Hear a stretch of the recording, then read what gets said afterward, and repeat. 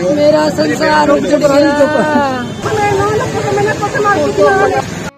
ਇਸ ਮਾਂ ਦਾ ਸੰਸਾਰ ਉਹਦੀ ਉਹ ਧੀ ਹੀ ਸੀ 27 ਸਾਲ ਦੀ, ਜਿਸ ਦਾ ਵਿਆਹ ਉਸਨੇ 2017 ਦੇ ਵਿੱਚ ਅੱਜ ਤੋਂ 5 ਸਾਲ ਪਹਿਲਾਂ ਕੀਤਾ ਸੀ। ਪਰ ਹੁਣ ਇਸ ਮਾਂ ਦੇ ਇਹ ਸ਼ਬਦ ਕਿ ਉਸ ਦਾ ਸੰਸਾਰ ਹੀ ਉਜੜ ਗਿਆ।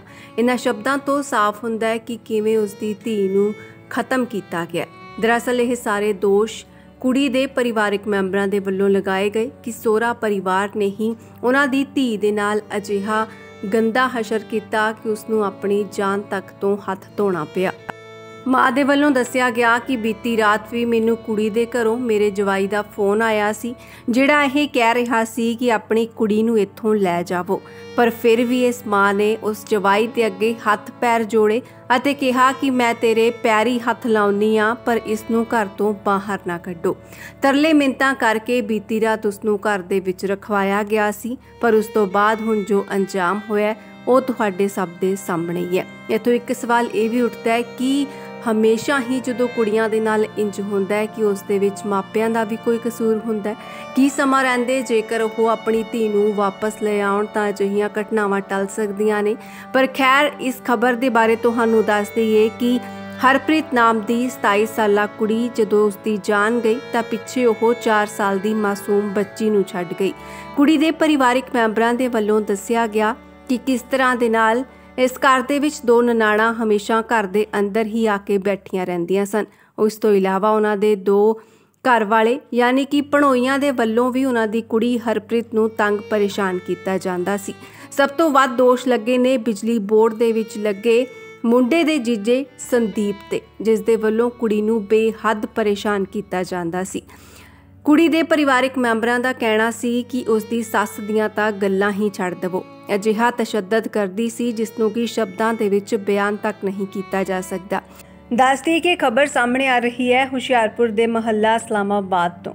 ਇੱਥੇ ਇੱਕ ਵਿਆਹੁਤਾ ਜੋ ਕਿ ਭੇਜ ਭਰੇ ਹਾਲਾਤਾਂ ਦੇ ਵਿੱਚ ਦੁਨੀਆ ਨੂੰ ਛੱਡ ਕੇ ਚਲੀ ਗਈ, ਉਸ ਤੋਂ ਬਾਅਦ ਘਰਦਿਆਂ ਦੇ ਵੱਲੋਂ ਸੋਹਰਾ ਪਰਿਵਾਰ ਤੇ ਕਈ ਤਰ੍ਹਾਂ ਦੇ ਇਲਜ਼ਾਮ ਲੱਗੇ ਨੇ।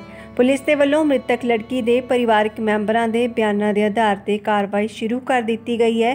ਦੱਸਦੇ ਕਿ ਮ੍ਰਿਤਕ ਲੜਕੀ ਦੇ ਮਾਂ ਦੇ ਵੱਲੋਂ ਦੱਸਿਆ ਗਿਆ ਕਿ ਲੜਕੀ ਦੇ ਸੋਹਰਾ ਪਰਿਵਾਰ ਨੇ ਹੀ ਉਸ ਨੂੰ ਖਤਮ ਕੀਤਾ ਜਾਣਕਾਰੀ ਦਿੰਦਿਆਂ ਮ੍ਰਿਤਕ ਲੜਕੀ ਦੀ ਮਾਤਾ ਦਵਿੰਦਰ ਕੌਰ ਨੇ ਦੱਸਿਆ ਕਿ ਉਸ ਦੇ ਵੱਲੋਂ ਆਪਣੀ ਲੜਕੀ ਦਾ ਵਿਆਹ ਸਾਲ 2017 ਦੇ ਵਿੱਚ ਹੁਸ਼ਿਆਰਪੁਰ ਦੇ ਮਹੱਲਾ ਇਸਲਾਮਾਬਾਦ ਵਿਖੇ ਕੀਤਾ ਗਿਆ ਸੀ। ਵਿਆਹ ਤੋਂ ਬਾਅਦ ਲੜਕੀ ਦੇ ਘਰ ਇੱਕ ਬੱਚੇ ਨੇ ਵੀ ਜਨਮ ਲਿਆ। ਮਾਤਾ ਨੇ ਦੱਸਿਆ ਕਿ ਵਿਆਹ ਤੋਂ ਬਾਅਦ ਉਸ ਦੀ ਲੜਕੀ ਨੂੰ ਸੋਹਰਾ ਪਰਿਵਾਰ ਦੇ ਵੱਲੋਂ ਦਾਜ ਦਹੇਜ ਦੇ ਲਈ ਤੰਗ ਪਰੇਸ਼ਾਨ ਕੀਤਾ ਸੀ, ਪਰ ਕੁੜੀ ਦੇ ਸਿਰ ਤੇ ਪਿਓ ਦਾ ਸਾਇਆ ਨਹੀਂ ਸੀ ਅਤੇ ਇਹ ਵਿਧਵਾ ਮਾਂ ਕੱਲੀ ਕੁਝ ਕਰਨ ਜੋਗੀ ਨਹੀਂ ਸੀ। ਬੀਤੀ ਰਾਤ ਵੀ ਲੜਕੀ ਦੇ ਘਰ ਵਾਲੇ ਦੇ ਵੱਲੋਂ ਫੋਨ ਕੀਤਾ ਗਿਆ ਅਤੇ ਲੜਕੀ ਦੀ ਸਿਹਤ ਖਰਾਬ ਹੋਣ ਦੀ ਗੱਲ ਕਹੀ ਗਈ। ਦੱਸਦੀ ਕਿ ਜਦੋਂ ਮਾਂ ਭੱਜੀ ਭੱਜੀ ਰਿਸ਼ਤੇਦਾਰਾਂ ਨੂੰ ਲੈ ਕੇ ਫਗਵਾੜੇ ਪਹੁੰਚੀ ਤਾਂ ਉਸ ਸਮੇਂ ਤੱਕ ਕੁੜੀ ਦੀ ਜਾਨ ਜਾ ਚੁੱਕੀ ਸੀ। ਮਾਂ ਨੇ ਪਰਿਵਾਰ ਤੇ ਦੋਸ਼ ਲਗਾਇਆ ਕਿ ਸੋਹਰਾ ਪਰਿਵਾਰ ਹੀ ਇਸ ਪਿੱਛੇ ਜ਼ਿੰਮੇਦਾਰ ਹੈ। ਪੁਲਿਸ ਪ੍ਰਸ਼ਾਸਨ ਤੋਂ ਇਨਸਾਫ ਦੀ ਮੰਗ ਕੀਤੀ ਗਈ ਅਤੇ ਕਿਹਾ ਕਿ ਲੜਕੀ ਦੇ ਪਤੀ, ਸੱਸ, ਸੋਹਰਾ ਅਤੇ ਨਨਾਣਾ ਤੋਂ ਇਲਾਵਾ ਦੋਵਾਂ ਪੜੋਈਆਂ ਤੇ ਵੀ ਬਣਦੀ ਕਾਰਵਾਈ ਕੀਤੀ ਜਾਵੇ। ਦੂਜੇ ਪਾਸੇ ਥਾਣਾ ਸਦਰ ਦੇ ਐਸਐਚਓ ਜੈਪਾਲ ਦਾ ਕਹਿਣਾ ਸੀ ਕਿ ਪੁਲਿਸ ਦੇ ਵੱਲੋਂ ਪੀੜਤਾ ਦੇ ਬਿਆਨਾਂ ਦੇ ਆਧਾਰ ਤੇ ਹੀ ਅਗਲੀ ਕਾਰਵਾਈ ਸ਼ੁਰੂ ਕੀਤੀ ਜਾਵੇਗੀ। ਜਦੋਂ ਅਸੀਂ ਮੈਨੂੰ ਕੋਈ ਫੋਨ ਕਰਦੀ ਹੁੰਦੀ ਸੀ ਕੋਈ ਜਿੰਦਾ ਲਾ ਕੇ ਜਦੋਂ ਮਿਲ ਸਕੇ ਕੋਈ ਜਿੰਦਾ ਲਾ ਕੇ ਅੰਦਰ ਕੈਨ ਕਰ ਲਿਆ ਕੁੜੀ ਨੂੰ। ਜਾਂਦੇ ਸੀ ਕੈਨ ਕਰ ਲਿਆ ਪਾਪੀ ਜਾਂਦੇ ਸੀ ਕਿ ਕਰੋ। ਜਿੰਦਾ ਲਾ ਕੇ ਅੰਦਰ ਆਉਂਦਾ ਸੀ ਔਰ ਹੁਣ ਅਸੀਂ ਕੈਨ ਦੇ ਪਹੁੰਚੇ ਆ।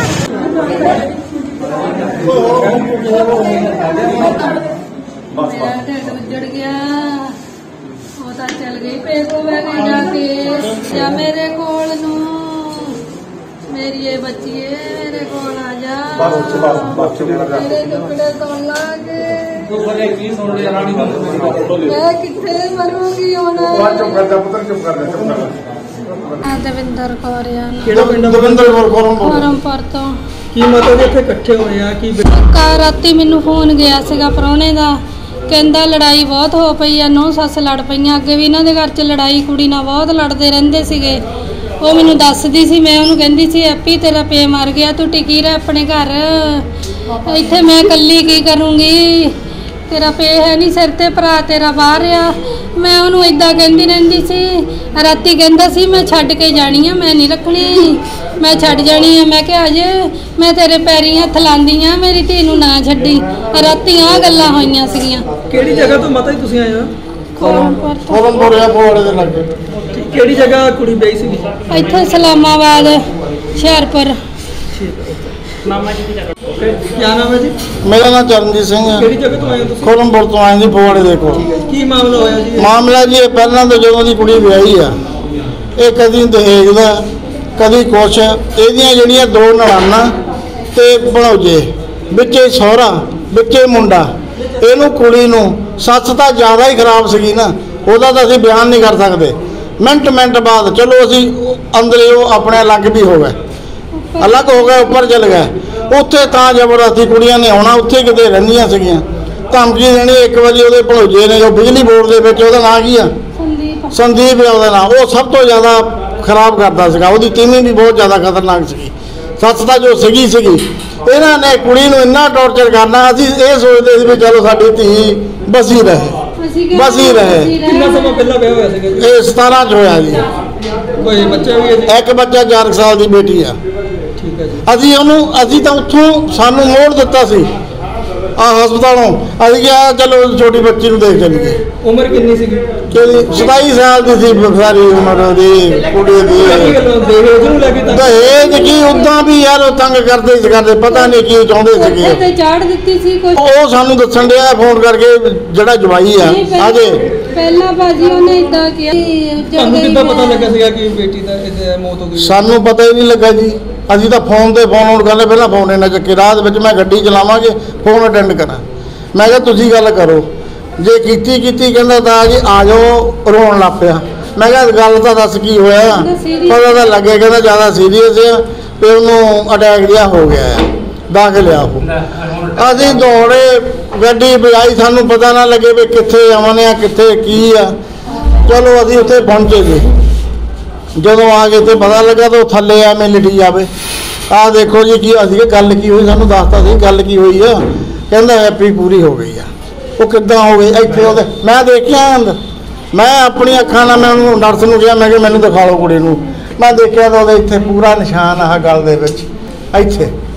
ਇਹ ਲਾਲ ਫਿਲੀਓ ਤੇ ਚਾਦਰ ਲੈ ਗਿਆ ਔਰ ਟੰਗੀ ਆ, ਜਿੰਨਾ ਵੀ ਟੰਗੀ ਆ, ਆਪੇ ਲਾ ਕੇ ਉਹਨੂੰ ਹਸਪਤਾਲ ਲੈ ਗਿਆ ਇਹ ਉਹਦਾ ਭਣੋਜਾ ਔਰ ਉਹਦਾ ਜਵਾਈ ਔਰ ਜੋ ਵੀ ਉਹਦੀਆਂ ਨਣਾਨਾ ਇਹ ਬੁੜੀ ਇਹਨਾਂ ਦਾ ਬੁੜੀ ਤੇ ਬੁੜਾ। ਬੁੜਾ ਤਾਂ ਉੱਥੇ ਚਲੋ ਦਾਖਲ ਆ ਉਹ ਵੀ ਤੰਗ ਬਹੁਤ ਕਰਦਾ ਸੀ ਉਹਦੇ ਵੀ ਗੋਡੇ ਗਾਡੇ ਗੜੇ ਜਲੰਧਰ ਪੈਂਦੇ ਸਾਨੂੰ ਉਹਦੇ ਬਾਰੇ ਨਹੀਂ ਪਤਾ। ਮੰਗ ਕੀ ਕਰਦੇ ਹੋ ਤੁਸੀਂ? ਹੈ? ਪੁਲਿਸ? ਪ੍ਰਸ਼ਾਸਨ ਤੋਂ ਕੀ ਮੰਗ ਕਰਦੇ ਹੋ? ਮੰਗ ਤਾਂ ਇਹ ਕਰਦੇ ਵੀ ਸਾਰਿਆਂ ਨੂੰ ਜਾ ਕੇ ਅੰਦਰ ਦਿਓ। ਅੰਦਰ ਹੋਣਾ ਅਨਿਆ ਹੋਣਾ ਚਾਹੀਦਾ ਸਾਡੀ ਕੁੜੀ ਜਿਹਦਾ ਮਾਰੀ ਆ ਜਿਹਦੇ ਨੂੰ ਵੀ ਮਾਰੀ ਆ ਉਹਨਾਂ ਸਾਰਿਆਂ ਨੂੰ ਫਾਂਸੀ ਹੋਣੀ ਚਾਹੀਦੀ। ਨਾਮ ਕੀ ਸੀ ਗੁੜੀਆ ਦਾ? ਹਰਪ੍ਰੀਤ ਕੌਰ। ਵਿੱਚ ਸਾਨੂੰ ਸਵੇਰੇ ਹਰਪ੍ਰੀਤ ਕੌਰ ਵਾਈਫ ਆਫ ਅਜੇ ਕੁਮਾਰ ਦੀ ਜਿਹੜੀ ਅਮਨ ਹਸਪਤਾਲ ਤੋਂ ਜਿਹੜੀ ਹੈ ਸਾਨੂੰ ਇੰਟੀਮੇਸ਼ਨ ਆਈ ਸੀਗੀ ਵੀ ਉਹਦੇ ਸੰਬੰਧੀ ਅਸੀਂ ਜਾ ਕੇ ਅਮਨ ਹਸਪੀਟਲ ਜਿਹੜਾ ਆ ਲਿਖੀ ਆ ਉਹਦੇ ਵਿੱਚ ਇਹਦੀ ਮਾਤਾ ਦੇ ਬਿਆਨ ਆ ਜਿਹੜੀ ਦਵਿੰਦਰ ਕੌਰ ਦੇ ਜਿਹੜੇ ਉਹ ਲਿਖੇ ਗਏ ਆ ਜੋ ਵੀ ਬਣਦੀ ਕਾਰਵਾਈ ਆ ਜਦ ਜਿੰਨੇ ਵੀ ਦੋਸ਼ੀ ਹੋਣਗੇ ਉਹਨਾਂ ਦੇ ਖਿਲਾਫ ਕੀਤੀ ਜਾਵੇਗੀ ਹੁਣ ਤੱਕ ਕੋਈ ਕਾਰਨ ਪਤਾ ਲੱਗਾ? ਹਾਲੇ ਤੱਕ ਤਾਂ ਇਹੀ ਸਾਹਮਣੇ ਆ ਰਿਹਾ ਵੀ ਕੁੜੀ ਨੇ ਆ ਬਾਕੀ ਜੋ ਤਫਤੀਸ਼ ਦੇ ਵਿੱਚ ਸਾਹਮਣੇ ਆਏਗਾ ਉਹਦੇ ਹਿਸਾਬ ਨਾਲ ਜਿਹੜੀ ਇਹ ਕਾਰਵਾਈ ਅਮਲ ਵਿੱਚ ਲਿਆਂਦੀ ਜਾਵੇਗੀ। ਬਿਆਨ ਹੁਸ਼ਿਆਰਪੁਰ ਤੋਂ ਕੁਲਵਿੰਦਰ ਹੈਪੀ ਦੀ ਰਿਪੋਰਟ।